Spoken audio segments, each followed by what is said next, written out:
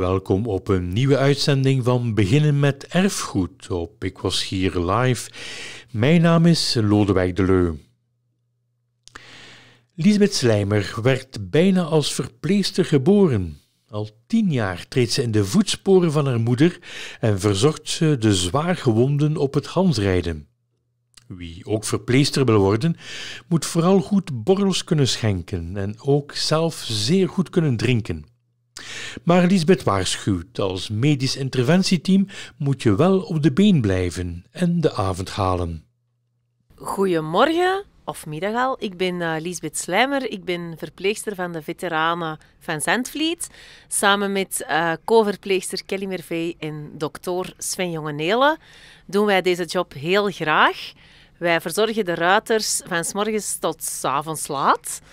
En wij hebben heel veel plezier in Zandvliet. Onze dag die begint s morgens met uh, aan te komen op de markt en iets te drinken.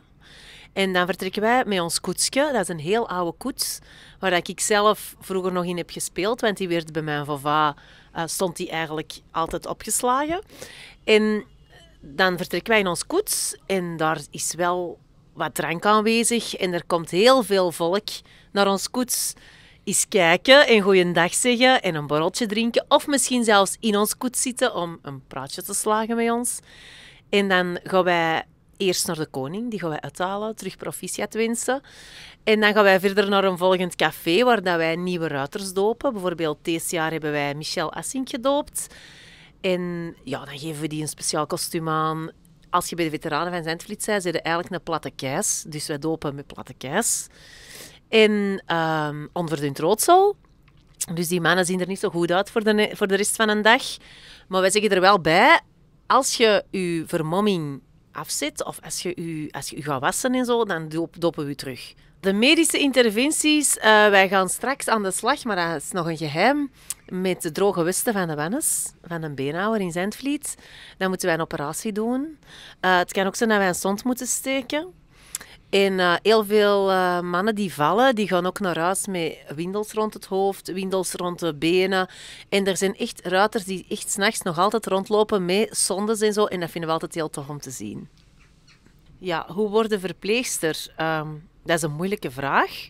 Ik denk dat ik dat gewoon heel mijn leven al heb gezien. Want mijn mama was altijd verpleegster van de jonge ruiters, Rina Pitoors. En ja, ik kende eigenlijk niet anders dan een verpleegster thuis, in huis. En toen bleek dat de verpleegsters van de veteranen gingen ophouden, hebben Kelly en ik ons kandidaat gesteld. En ja, wij, wij wisten wel waar dat inhield, omdat, ik, ja, omdat wij erin geboren zijn eigenlijk. En wij hebben ons kandidaat gesteld en uh, ze hebben ons weerhouden. Dus vandaar dat wij toen verpleegster zijn geworden, tien jaar geleden nu. Wij hebben een tienjarig jubileum trouwens wat niemand weet en dat gaan we zo houden. En wij, um, ja, sinds dan zijn wij verpleegster en wij doen dat heel graag. Um, als je verpleegster wilt worden, dan moet je goed borrels kunnen schenken, maar ook heel goed zelf kunnen drinken, maar wel oppassen. Dat je zorgt dat je de avond nog haalt. Dat is heel belangrijk. Je moet altijd heel goed oppassen. Dat is de enige boodschap voor toekomstige verpleegsters. Wij hebben er heel veel plezier aan, omdat wij dat als, met twee vriendinnen zijn wij verpleegster en onze dokter, uh, de Sven, kennen wij ook al super lang. Dus dat is gewoon, wij zijn een goed team. Wij uh, spelen op elkaar in. Als het is wat te koud is of er is niks te doen onder de galg, dan gaan wij samen niet drinken. Uh, dat is eigenlijk het leuke, dat je een hele dag samen beleeft. En natuurlijk met heel de gansrijderstraditie ben ik zelf opgegroeid. En wij hebben hier superveel vriendinnen rondlopen waar wij een heel weekend heel veel plezier mee maken. En dat mogen ze ons nooit niet afpakken, want dat is eigenlijk echt een topweekend en echt een van de beste weekends van het jaar. Het gansrijden dat brengt eigenlijk iedereen samen, jong en oud. En van toen wij klein waren tot nu, dat wij al een beetje groter zijn, als wij klein waren, dan ehm, gingen wij mee. Wij mochten wel pas mee vanaf dat wij voor ons eigen konden zorgen, want ervoor mochten wij van onze ouders niet mee.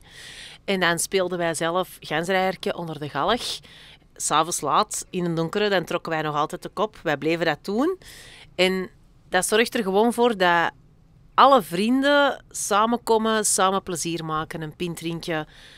En dat al heel hun leven meedragen en dat altijd zullen blijven meedragen en dat doorgeven naar de volgende generaties. En elkaar terugzien en feestvieren samen en plezier maken. Dat is eigenlijk het belangrijkste. Tradities zijn belangrijk. Wij houden ervan. Het wordt doorgegeven in Zandvliet en in heel de polder van generatie op generatie. Wij hebben het geleerd van ons grootouders en van onze ouders. En wij geven dat graag door aan de volgende generaties. Dus tradities die moeten we zeker in ere houden.